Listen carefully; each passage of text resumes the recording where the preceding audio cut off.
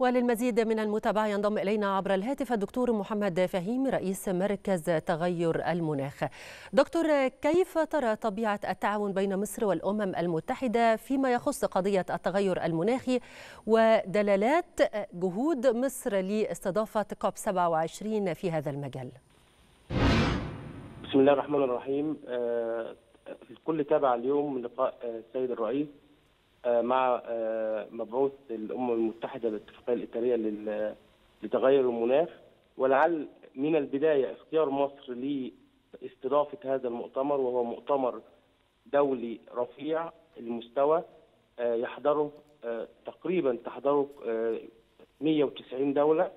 معظم هذه الدول تمثل من خلال رئيس الدولة، اذا هو مؤتمر في غاية الأهمية بخصوص قضية أصبحت قضية تؤرق العالم وهي قضية تغير المناخ. مصر كان لها مجهود كبير خلال السنوات القليلة الماضية كل هذه كل هذه المجهودات تم إضافتها إلى ملف مصر حينما اختارت الاتفاقية مصر لاستضافة وتنظيم المؤتمر القادم مؤتمر الأطراف ال 27 في شرم الشيخ في نوفمبر القادم لأن مصر جعلت من العمل المناخي نموذج يحتذى به، مصر لا تساهم إلا بنسبة قليلة جدا في غازات الاحتباس الحراري على مستوى العالم، ورغم ذلك كانت الممارسات والجهود والإجراءات الحكومية تصب في الحد من أو التخفيف من غازات الاحتباس الحراري رغم عدم مساهمتها بنسبة نعم. فعالة.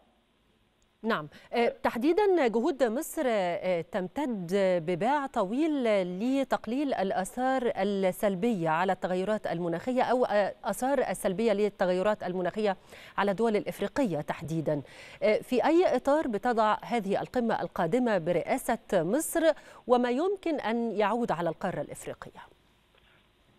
أخذت مصر على عاتقها أن تستكمل ما تم إنجازه في مؤتمر أطراف السادس والعشرين في جلاسكو في الولا... في اسكتلندا شمال المملكة المتحدة لتحويل كل المخرجات التي تمت وتم الاتفاق عليها ما بين الدول المشاركة إلى إجراءات على الأرض.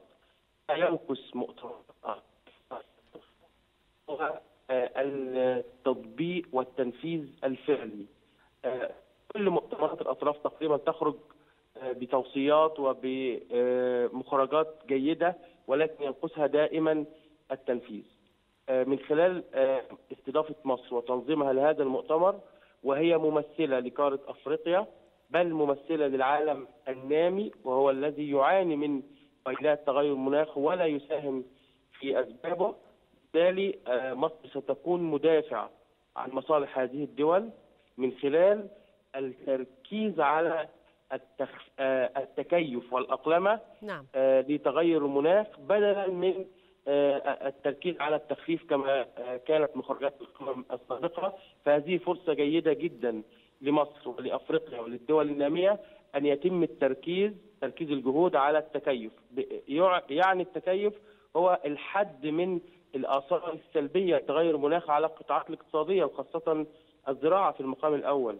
بالتالي متوقع أن يكون مخرجات هذه القمة على قدر المسؤولية من العالم وسيكون له أثر كبير في تدعيم نعم. مكانة مصر على مستوى العالم في كل ما يتعلق بالمناخ. أشكرك جزيل الشكر الدكتور محمد فهيم رئيس مركز تغير المناخ.